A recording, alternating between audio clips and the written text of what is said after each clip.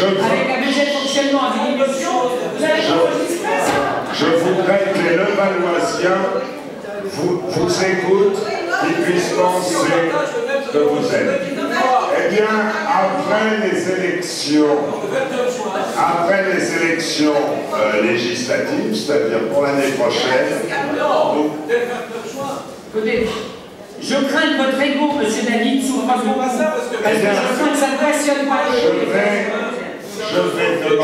je demande d'ores et déjà à M. Beignoux, il est là, notre directeur, il est là. Monsieur Beignoux, vous mettez en place pour la rentrée Je crains que ça, fasse beaucoup de la moyens rentrée, pour pas grand-chose. la mise, la mise en, ligne du conseil municipal. En direct, en direct, en direct. Je veux surtout pas qu'on coupe quoi que ce soit. Vous êtes